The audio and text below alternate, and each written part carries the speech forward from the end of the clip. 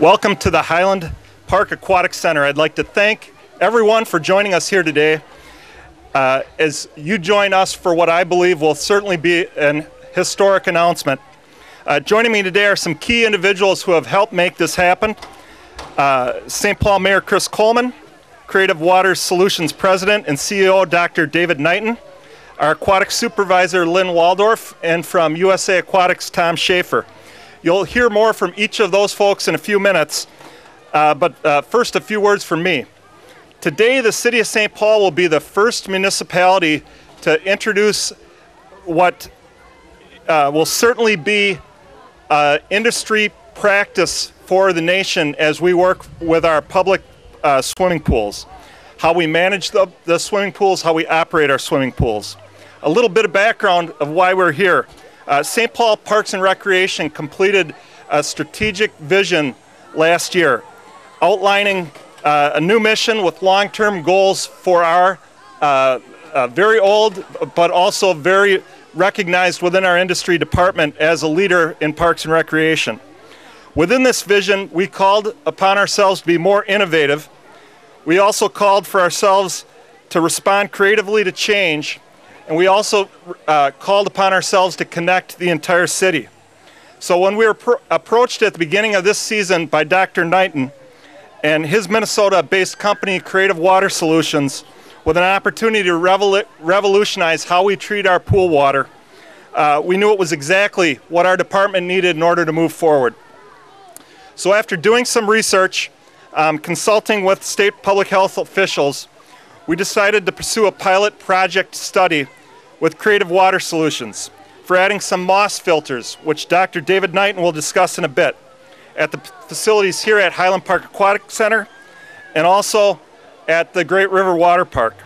We began this in May. We learned very quickly that these filters were very effective, so we added the innovative water uh, systems to our other facilities as well. I'll let my partners speak more to the details of how these systems work, but first I'd like to announce a proud frontline supporter of this pilot, pride, uh, pri pilot program, St. Paul Mayor Chris Coleman. Mayor. Thanks, Mike. Yet one more way that my staff has devised to torture me, have me come out to a pool on a nice, beautiful sunny day with a suit and tie on. It just is not a good thing, but I just want to uh, thank everyone that was involved in this pilot project and, and uh, you know, taking this pilot project and really moving it into something that's a permanent part of the fixture for our pools in the city of St. Paul. This is truly an amazing partnership. To be able to take a product like this, to experiment with it, to try to figure out exactly whether it has the potential that we were promised it might have, uh, and end up with water that is cleaner, that has uh, about half to a third less chemicals that are used in it, chlorine in particular, uh, where people are coming out of the pool feeling like they are, uh, their eyes aren't as irritated, they don't smell like chlorine, uh, their skin feels softer, their hair doesn't turn green. It's, uh, it's a really, it's a wonderful thing when you have that. Um, but it's that kind of innovation and that partnership. So this is good on so many different levels. It saves the city of St. Paul money by using less chemicals. Uh, it's better for the swimmers. It's better for the environment. On every level, this has proven to be an incredible success. So I want to thank uh, Dr. Knighton and his incredible staff. I want to thank uh, our staff at the uh, in St. Paul Parks and Recreation Department, Lynn, our aquatics director, and everyone who had a play, played a role in having St. Paul be an innovator and a leader. I think that's one thing I want to just say that I, I think in the city of St. Paul, we are taking those next steps. We are trying to figure out how to do things better. We're trying to figure out how to do things uh, with uh, with less resources, but in a in a uh, hopefully in a better way. And I think that this is one of those opportunities. So congratulations to everyone, and uh, hopefully uh, at the end, uh, Mike Thomas promised he was going to do a somersault in his suit. So congratulations.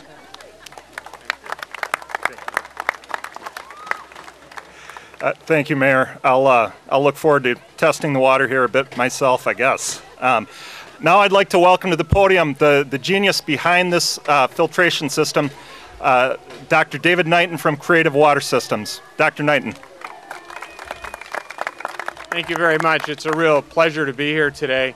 The City of St. Paul gave us an opportunity that's really a once in a lifetime opportunity to take technology that we'd been developing over the last eight years and have used in residential pools and spas for the last five years and giving it a test in an environment that you see here today where bather loads are high and where systems are tested to their max. The staff here in the Aquatic Center has done an amazing job helping us and the results have surpassed even my expectations. The product that we're using here actually is a plant and it's been it's been treating water in bogs for centuries and millennia. And the problem is that once we invented antibiotics, everybody forgot about it. And in doing research in wound healing, I came upon it in an airplane flying back from Germany in an article in Atlantic Monthly. And we, Vance and I started working on it. Vance is my partner, who you'll meet in a second. And we found out that this plant not only doesn't allow bacteria, algae, uh, mold, or yeast to grow in its presence, but it keeps pH stable so you don't have to add a lot of chemicals to keep the pH stable and it also helps prevent biofilm from forming. And luckily Vance is one of the US experts in biofilm.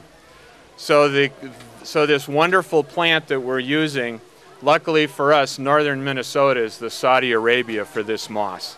So we're very excited about the opportunity. We're very excited to be working with the City of St. Paul. We've got other projects that we're going to be doing, and we're uh, terribly fortunate to have a city like St. Paul that will step forward and take on innovation and help us test it to see if it works. And I want to uh, welcome to the podium uh, Lynn Waldorf, who directs our aquatic program here in St. Paul, and point out when I uh, bring up Lynn that the young people she works with within our aquatics program are recognized within the industry year after year for their skills in, uh, in providing uh, water safety for our guests here in St. Paul. So uh, welcome to the podium uh, Lynn Waldorf from our program and Tom Schaefer from USA Aquatics. Hi, good morning. I uh, first heard about this product at the beginning of the swim season, right before we were going to open. I got a phone call, asked if I would listen to um, a presentation about a new filtration system, and they asked me if I had time, and I kind of said, Yeah, I have time. I'll listen to you. And uh, at that time, I also went to Tom Schaefer with U.S. Aquatics. He's an aquatic consultant who has worked with the city on a lot of projects, and asked him if he would be welcome to look at this presentation. The two of us sat down with a few other people in his company and we looked at it and said, you know what, I think this will work all day long. It seemed to make sense to me. We worked with um, our engineers, we worked with all of our um, employees on installing the moss with Creative Water Solutions, and we've had this huge science experiment going on here at the Highland Park Aquatic Center, which has been phenomenal.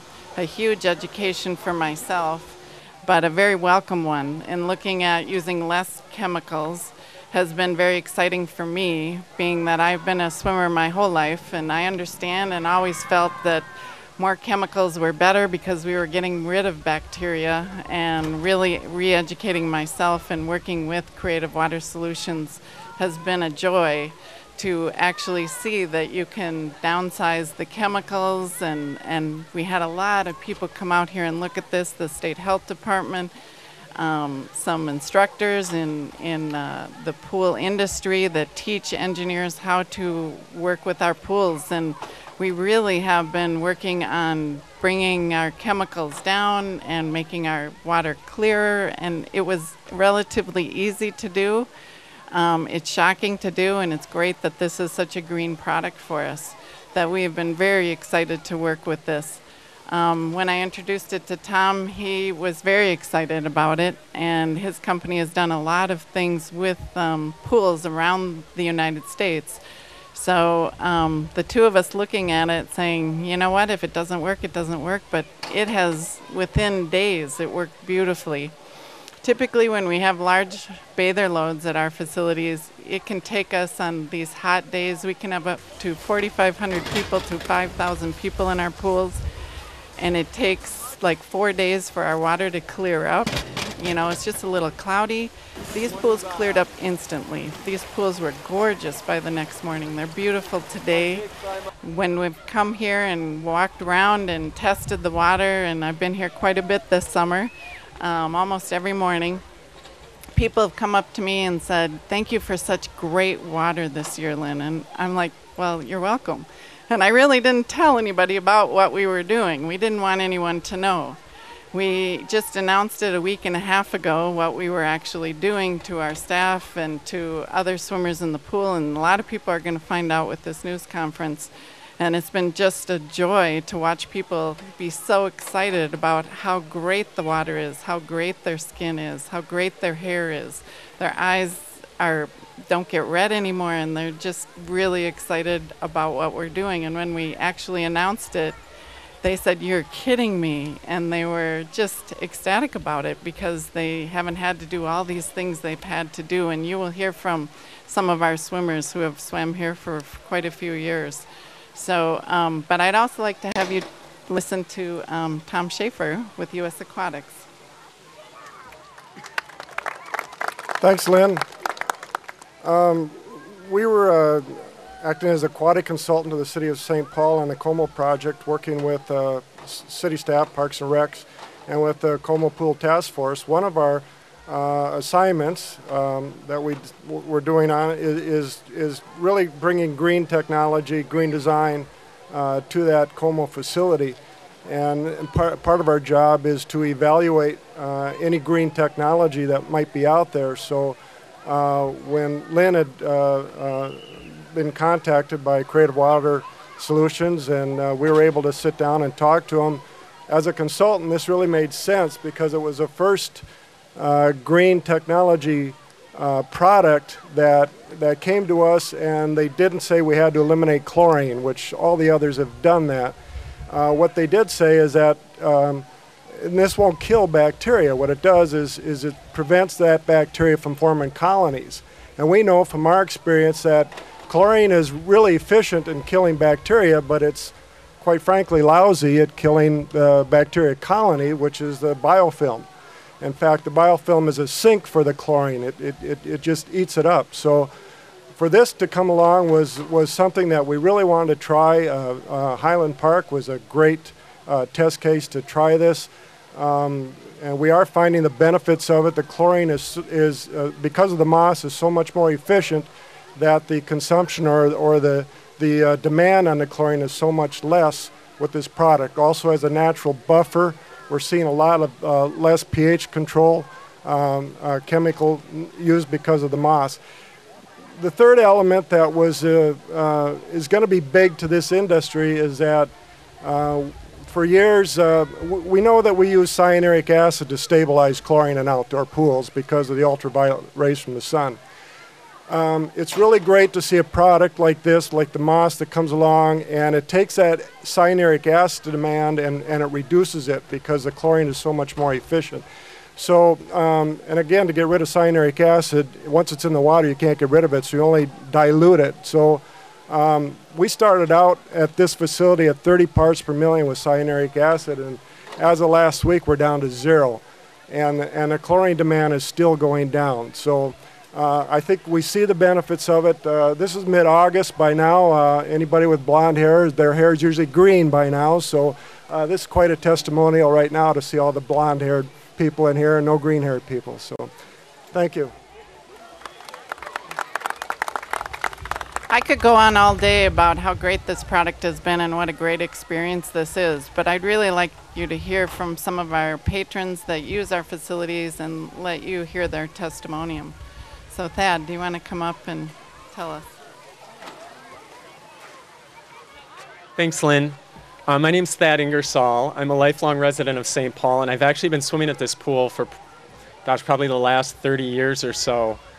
And I've noticed, I probably spent, as, as these guys mentioned, I probably spent the 80s with green hair.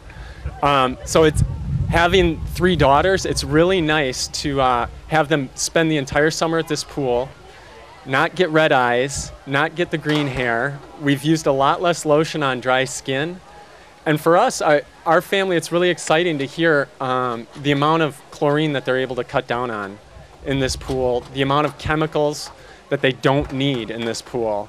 Um, we've been coming here for so long, you kind of get used to the smell of chlorine around our house. We've noticed something different this summer. Um, we, we're no longer marinating in that smell, and it's, it doesn't pervade our entire house. So we're really excited about it. Um, to be the first in the city of St. Paul um, to use this, you know, we feel really, uh, you know, really excited about that as well. So for us, you know, we appreciate this opportunity. Our family specifically has really had a fantastic summer here. So thanks a lot, Lynn. Come on up.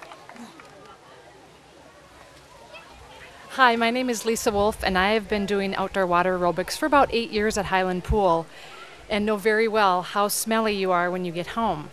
Well, this summer, about halfway through, I realized that my suit that I started with was still intact and I didn't smell. And I thought, why? What's going on? And then, kind of underground, I found out that they had this new filtration system, and I think it's really, really exciting. I'm grateful that I don't, we don't smell all the time, and our skin isn't all crunchy and dry, and our suits aren't disintegrating before our very eyes, and it's a natural green product. So for that, I'm really grateful. Thank you very much.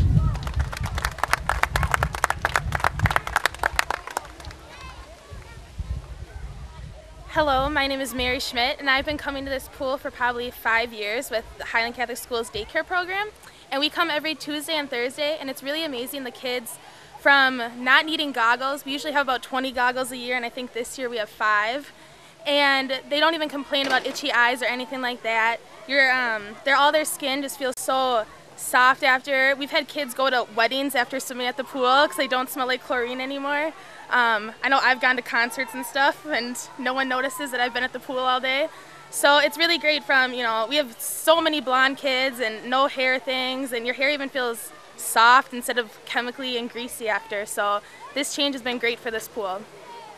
I hear more and more of these from everywhere I am, and we just put it at our other facility, and people are coming up and saying how fabulous it is. Our other facility is an indoor facility, and we had tremendous chlorine in the air and smells, and it's completely eliminated. So the, I don't really see anything negative about this product, and it's just been a wonderful thing for St. Paul to do this summer.